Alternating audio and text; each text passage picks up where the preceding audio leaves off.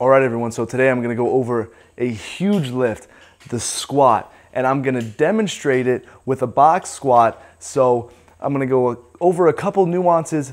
Everything that you do today, that I do, that I'm gonna show you that you could take with you to the gym today, yes, you can use on a box, but to do it without the box, you literally just have to move the box away. And I'll also talk about that. It's very simple. Um, we're gonna start from the feet up and I'm gonna show you how I want you to be. I'm also gonna talk you through how I want you to look and feel when you're lifting. So the big thing for squatting is you gotta drive from your heels. Now, a lot of people, a lot of younger kids especially, they end up becoming a little bit inflexible. So you're talking the 15 to 18 age range. You're sitting 90 degrees in class all day. You're sitting 90 degrees when you're driving on the bus or driving in your car.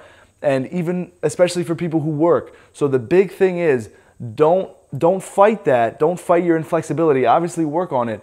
But understand a very simple thing that you could do is opening up your feet, pointing your toes out instead of letting your knees just cave on top of your toes. Because once your knees go over your toes, all the tension is going to go right underneath your kneecap and that's when the swelling comes that's when you get away from squatting and you say you weren't made for it your body type wasn't made for it it hurts too much so the big thing is opening up your feet and allowing yourself to drive from that heel to squat up.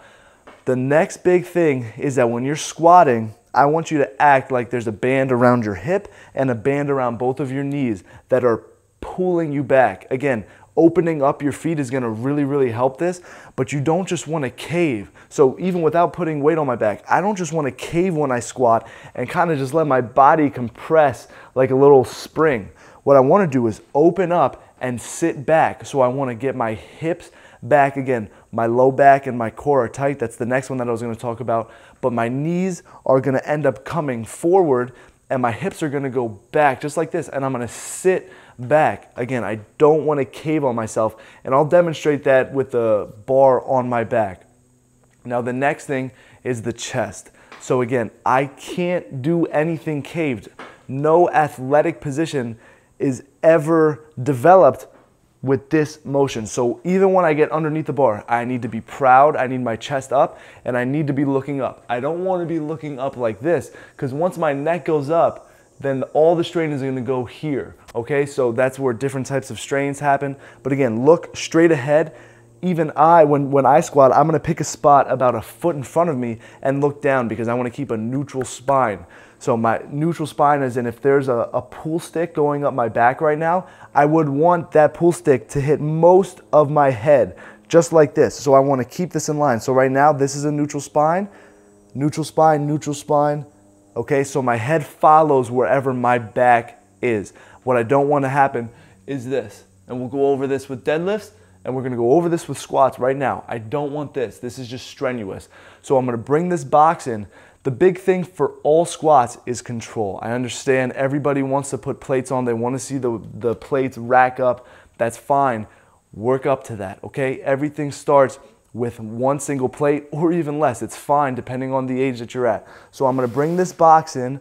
The big thing is I want my hip line almost hit parallel with my knee. So for this box right here, you can see my knee line is pretty much right in line with my hip, okay?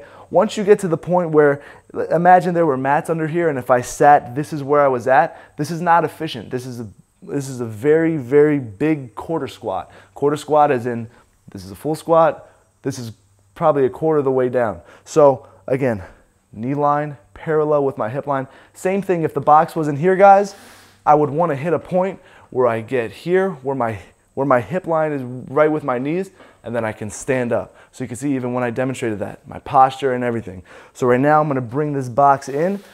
I'm gonna imagine eggshells. I'm gonna think eggshells the whole time. I wanna go down slowly, and let's imagine this is memory foam or something, and there's eggshells underneath this. We can't let those crack. So you'll see when I go down, I'm not gonna plop like this last second. I'm gonna go down smoothly, and if I rock back a little bit, it's not gonna be past 90 degree angle between my thigh and my core. So I'll deactivate the glutes like this and then stand up. So I'm gonna show you five good reps of this demonstration of everything that I just talked about. I'll get my hands on the bar, a little bit wider than shoulder width.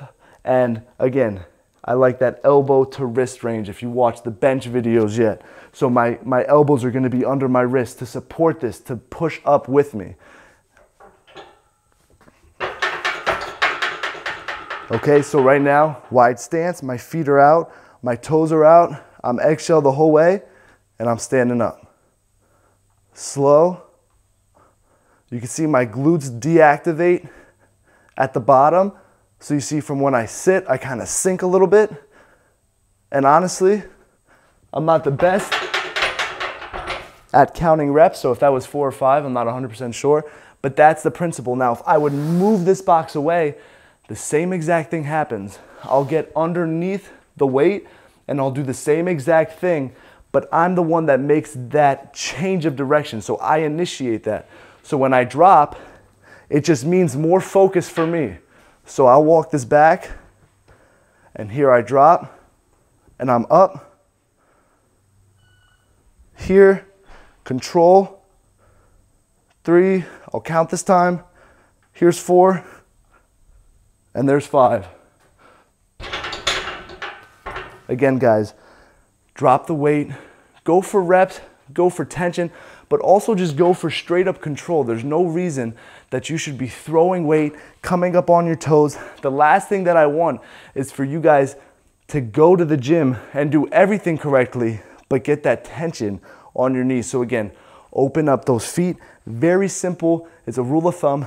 Drive those heels into the ground squat up. So I hope this gets your squat up. I hope this helps you guys out. Thank you for watching.